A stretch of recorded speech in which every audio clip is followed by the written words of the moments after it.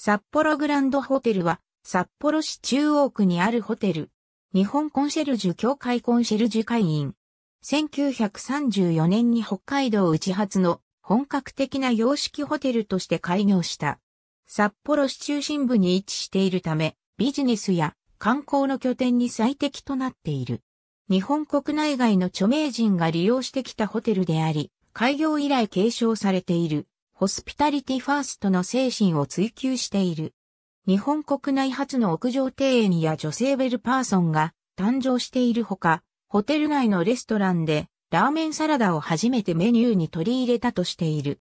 オリジナル商品のコーンスープ缶詰は看板商品になっている。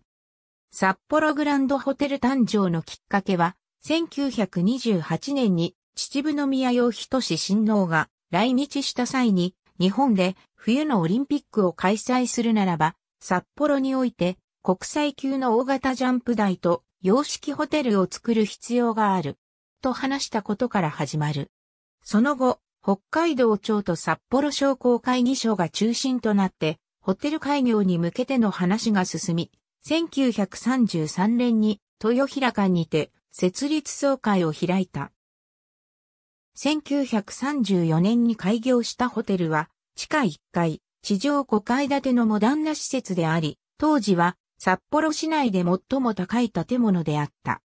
北の迎賓館として政財界の応接室、会議室、市民の社交場、日本ハムファイターズが札幌に移転してきた時から選手やマスコットのディナーショーを道内で初めて開催し、札幌市や北海道に文化を伝える発信地になった。